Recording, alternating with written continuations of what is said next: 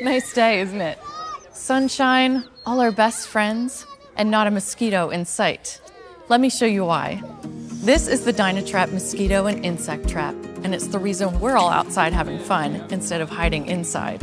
Here's how it works. A warm UV light interacts with a specially coated surface to produce CO2, like we exhale, which attracts mosquitoes and other flying insects. Then the Whisper Quiet fan pulls the insects into the catch basket, trapping them and breaking their breeding cycle, so they can't ruin our afternoon. We just place it a little ways away from people and a few feet off the ground in insect flight paths. We put it out in the spring when it gets warm and let it run 24 7 through the end of the season. It's easy to plug in and turn on.